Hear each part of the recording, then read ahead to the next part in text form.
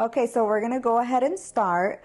My name is Melissa Castro. I'm a nurse practitioner here in Orlando, Florida, and I'm really excited to be here with you guys to talk about healthy habits. So, a little bit about me.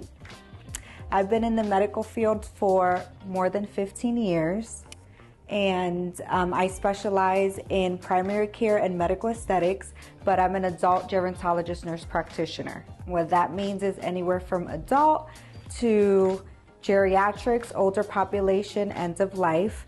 That's my age group. And I also specialize in medical aesthetics, and I'm the founder of MC Primary Care and MC Elite Aesthetics. So, we're here to talk about healthy habits. But can someone raise their hand and talk to me about unhealthy habits? Can you give me a few examples of what are unhealthy habits?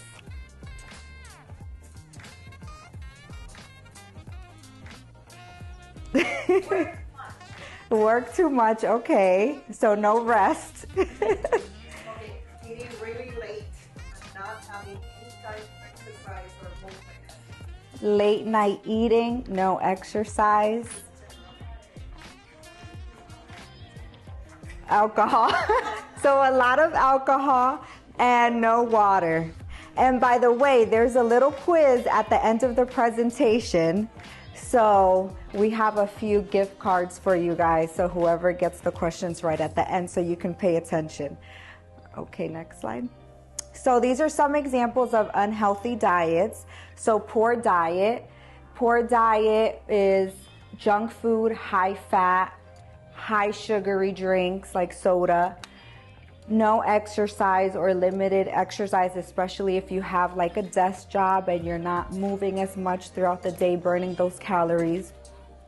Poor sleep habits. Definitely sleep is really important for us, right? We're able to recharge for the next day smoking, skipping physical and mental health screening. So, your annual physicals, your labs, and excessive alcohol use. I don't know who said drinking a lot. drinking a lot and then coming in the office the next day. okay, next slide. so, more on unhealthy habits. Um, what are the effects? obesity. Obesity can also lead to chronic illnesses such as high cholesterol, high blood pressure, heart disease, diabetes, higher risk of mental health such as depression and anxiety, cancers such as colon cancers, breast cancers. There are certain type of cancers that you're more at risk if you have more of these unhealthy habits. Insomnia, back to the not sleeping, and high stress. We're always on the go, go, go, and that leads to a lot of stress. And I don't know if you know what cortisol is. Yeah. so it's a stress hormone. Yeah, so when we're really stressed, those stress hormones come up. And when those stress or- hormones are elevated, it increases our chances of gaining weight, eating more. You're stress eating, you're not sleeping. So, being able to control the stress also controls our weight, controls our mental health. So, we'll touch up on those healthy habits later on in the presentation. Healthy habits Okay. So, one of the number one things as a medical provider that I emphasize is preventative care. Why? Because a lot of the health problems that are caused by our quality of life can be prevented. So, what is preventative care? Preventative and routine care helps prevent health problems or finds them before they become serious. And how can we do this? By our annual physical and mental health screenings with our primary care provider. It's better to prevent disease than to treat people after they get sick. and these are just some statistics on chronic diseases. So, not only are they a burden to our patients, but also to our healthcare system, it's more expensive to treat a disease than to prevent it. Uh, so, some examples of chronic diseases are heart disease, cancer, chronic lung disease, Alzheimer's disease, chronic kidney disease, and all of these can lead to long term disability. Next slide. Okay, so going back to preventative care, some how can we prevent illness? Our immunizations. Does everyone get annual flu shots? No. Okay.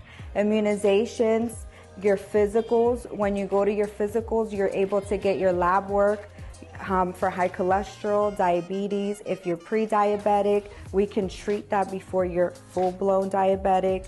Weight management, high cholesterol, heart disease. There's a lot of illnesses that we're able to prevent beforehand, especially based on quality of life, diet, and exercise then later on. Also, colorectal screenings for colon cancer, breast exams for breast cancer, um, GYN exams like your pap smears for cervical cancers. So, there's a lot of screenings that you have access to to prevent disease. No, go back, please. So, healthy diets. Can someone raise their hand and tell me what is their diet? What does your diet consist of?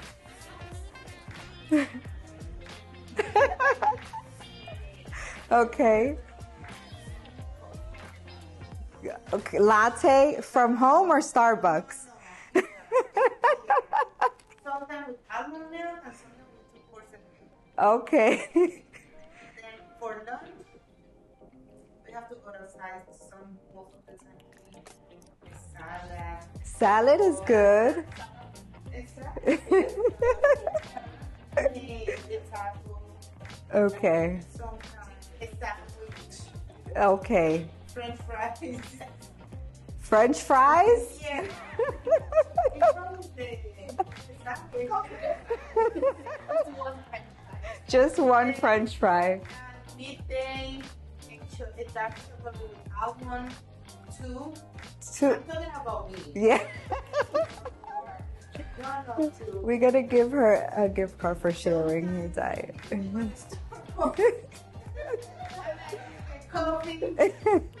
And then if I work my other job, I'm good like a mouse, but I can eat peanuts, almonds.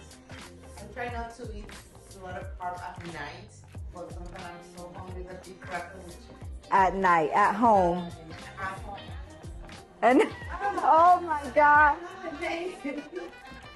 Sometimes I'm like, "Oh,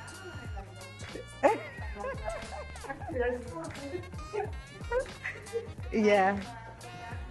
So thank you for sharing your diet. We want to give you a nice little gift card for participating. yes.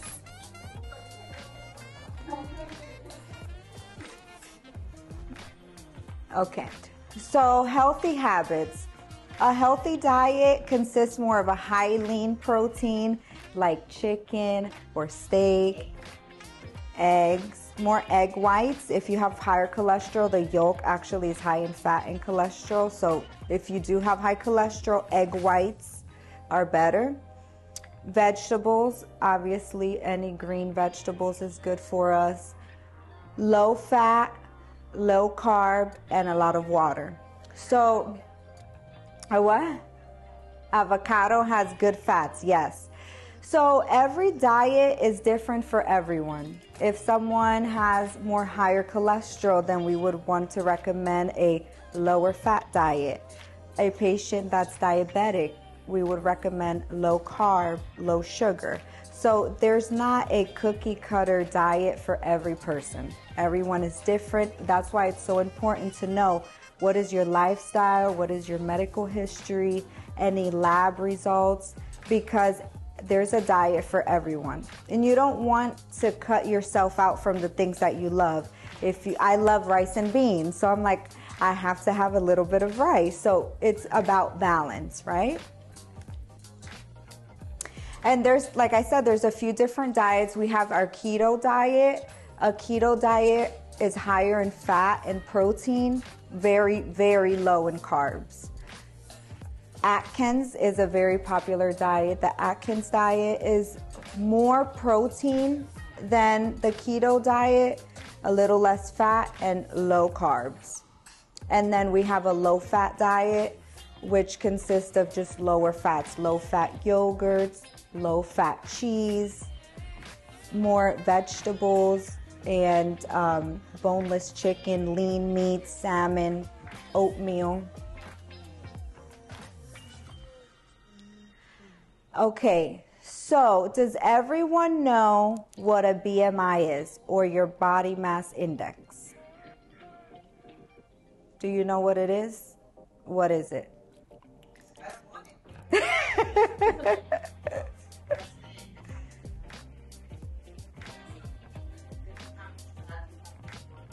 right, so go to the next slide. So, pretty much it's a number based on your height and your weight that interprets what category you are in, whether you're overweight, obese, within normal range, underweight. And the BMI, which is the body mass index, for adults 20 years old and older, the BMI is interpreted using standard weight status categories. These categories are the same for men and women of all body types and ages. So, for example, anywhere, anything over 25 is considered overweight. 30.0 and above is obese, and a BMI of 38 and over is morbidly obese. This is an example of, I don't know if it's a man, it doesn't specify if it's a male or a female, but the individual is five foot nine. And then if this person of five foot nine weighs up to 168, that's considered a healthy weight. But this is standard. If you have someone that exercises a lot, has more muscle, they'll obviously weigh more, but will have less fat.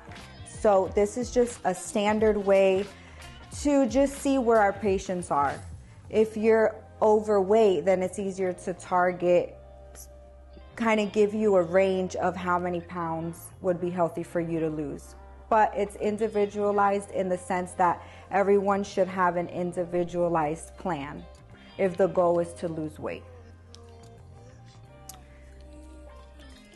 And going back to obesity, and these are just some statistics from the CDC. In 2017 to 2020, the US prevalence was 41.9% of obesity. But in 1999 to 2000, it was 30.5 to 41.9%, meaning it's increasing every year.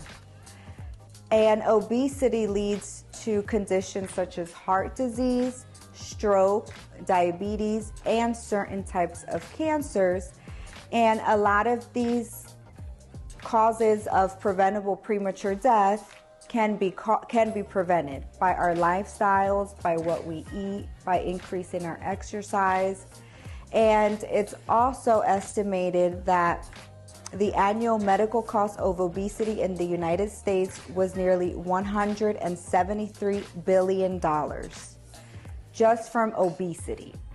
related illnesses. So, diabetes, certain cancers, heart disease, all of these diseases are pretty much caused by obesity, right? And then medical costs for adults who had obesity were $1,861 higher than people from a healthier weight. and a lot of people don't think about mental health and how it can call, how it can be caused by obesity but it associated with poorer mental health outcomes and reduced quality of life in the US and worldwide. So, when you're not having that physical activity, the outlet, when you're not eating correctly, when you don't feel comfortable with your with your quality of life, with your energy levels, anxiety, depression, all of these illnesses you know, can from not only from obesity, but can also lead to obesity because if you're anxious or depressed, you eat, you're eating more, you're not exercising as much. So all of these preventable illnesses can not only can they be prevented, but they it's like a domino effect, right? Stress management. What do you do to relieve your stress? Shopping, okay. I love to shop too. Ooh, what do you like to sing? Like what?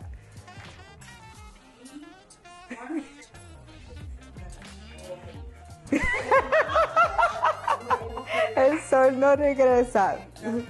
Okay.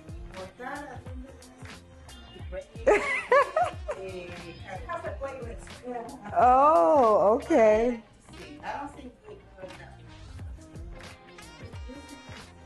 That's nice. That's good. So, um, some ways to release stress or just to manage our stress. One of I think we're always so fo- we're always on our phones, right? We're always so focused on social media, and it's good to disconnect.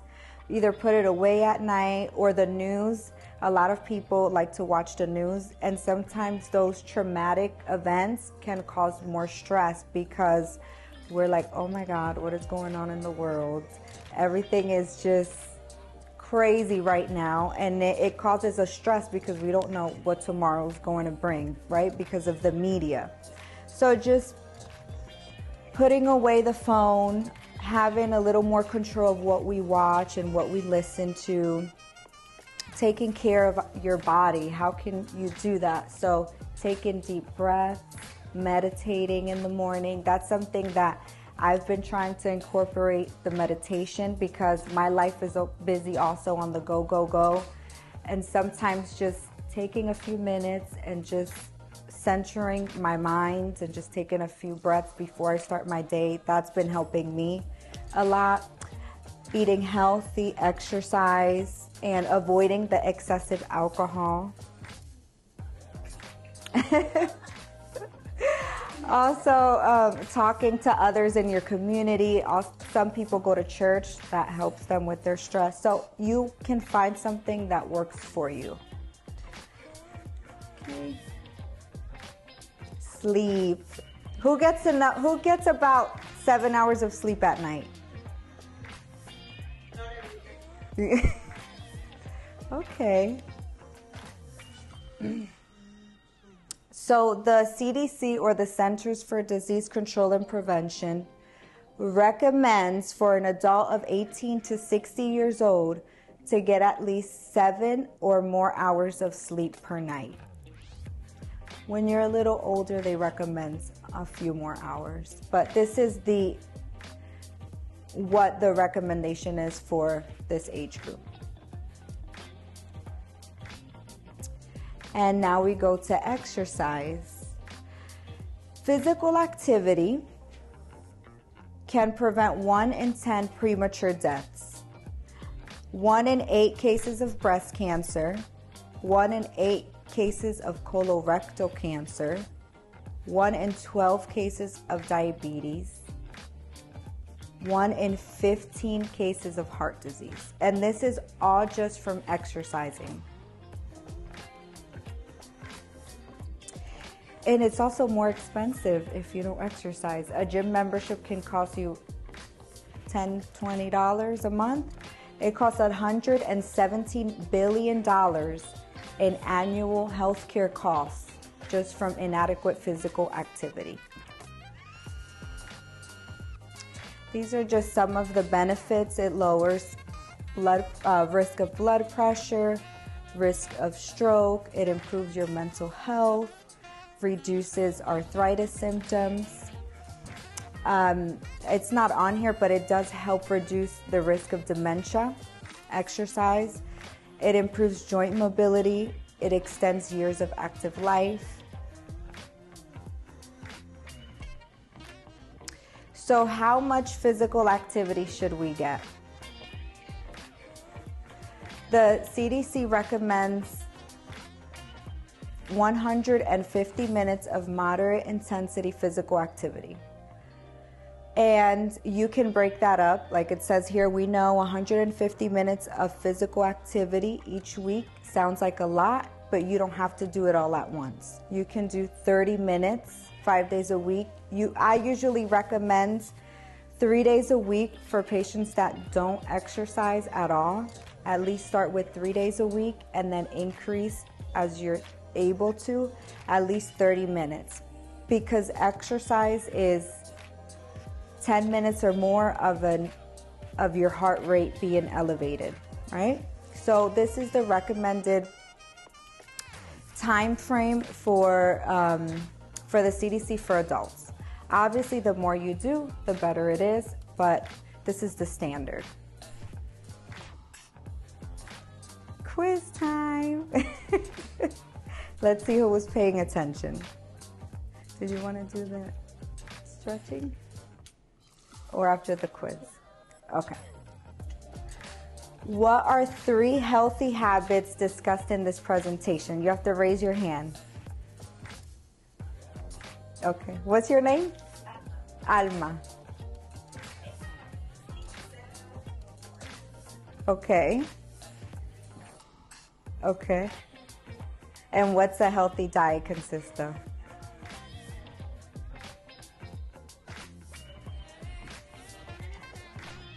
You can give her.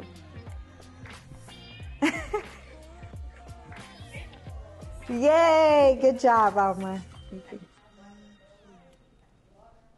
yeah, you said water. This ball.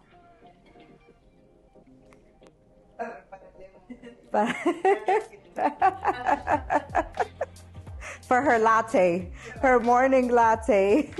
okay, yeah.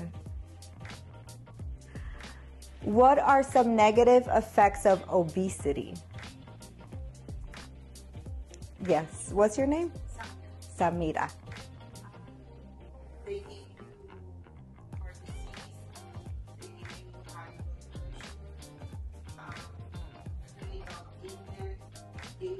Illness, illness, you cancer, so you cardiovascular, mental. Yeah, anxiety.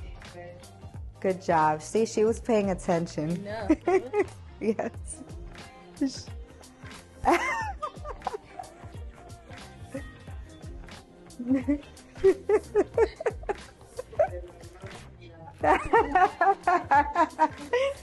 she she's gonna hide it because they're looking at it. okay, and the next one. How many minutes of exercise does the CDC recommend? Everyone. okay, someone that hasn't. What's your name? Wanda.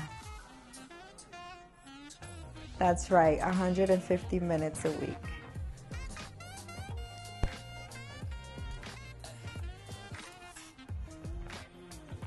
Okay. So now we have Miss Rita here. She's a personal trainer. Yes. And we're just going to get up and do a few stretching exercises. Yeah. Yes. Uh, what time is it? Yeah. We So we can- Yeah. You can, yeah.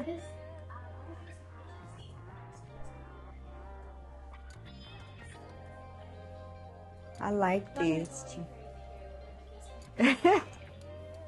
I love these little balls. I know.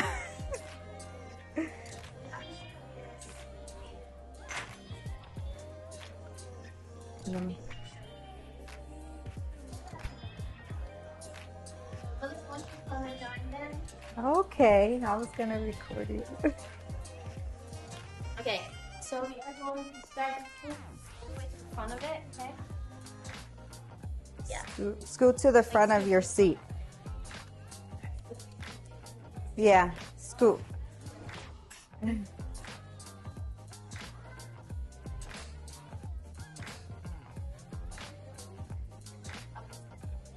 Alright, we're gonna start with warming up our shoulders. So we're gonna place our thumbs on the top of our shoulders and we literally are gonna bring those elbows up.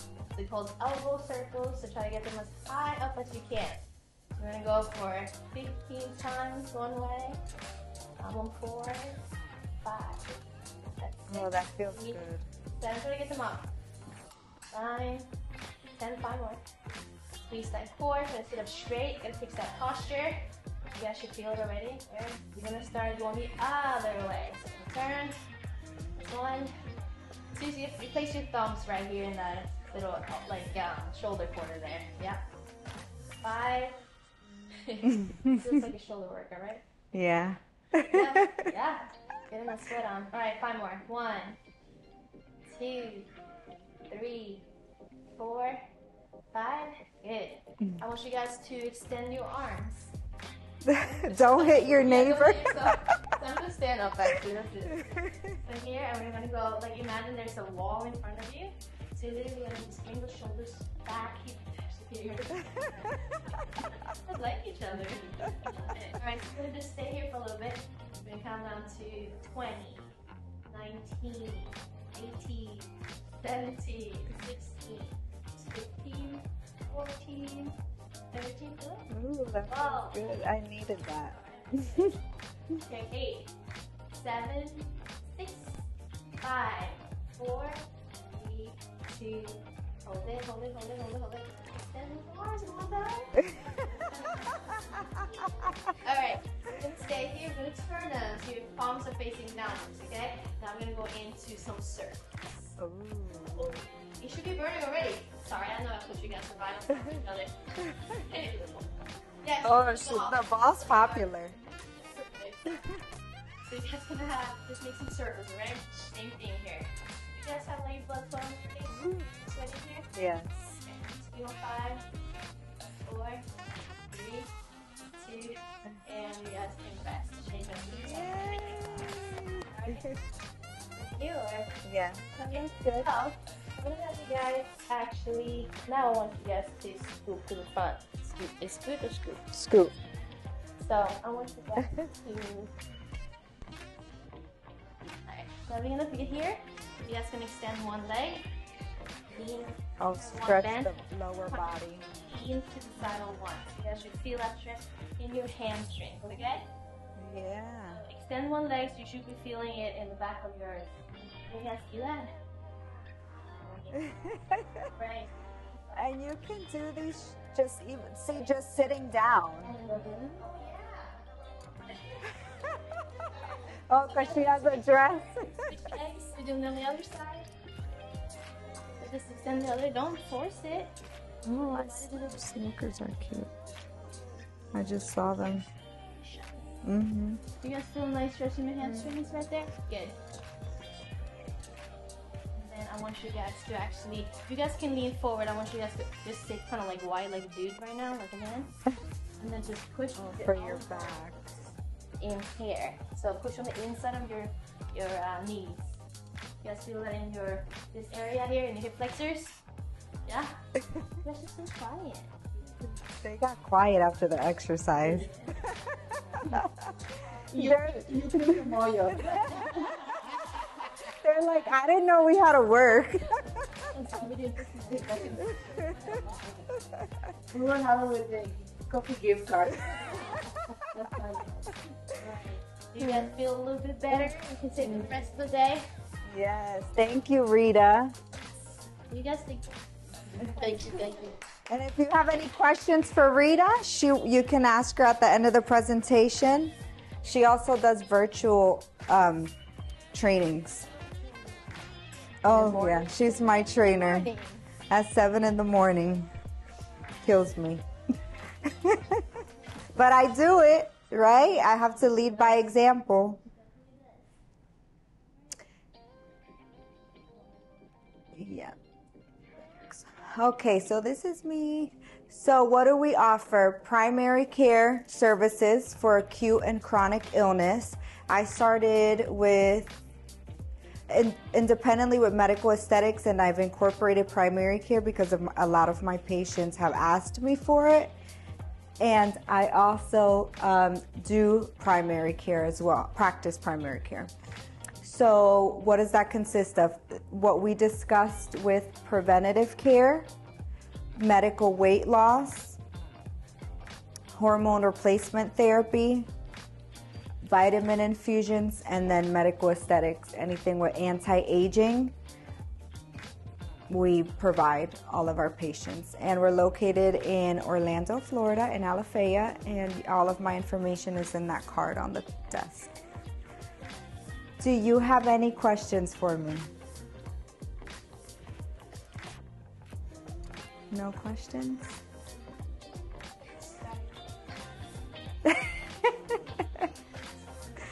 Tomorrow. so That's good. Okay. Well, thank you for your time, and it was a pleasure being here. This is a beautiful building, a beautiful hotel, and hopefully, I'll see you guys soon. Thank you. They're on the, yeah, the phone number is on there. hmm Right now, it's not, but within 2024, I will be. Right now, it's a membership based, but the uh, medical weight loss is not. I don't believe it's covered by insurance. Yeah, because it's more a cosmetic. But you can always give me a call, and anyone here today will get 15% off any services.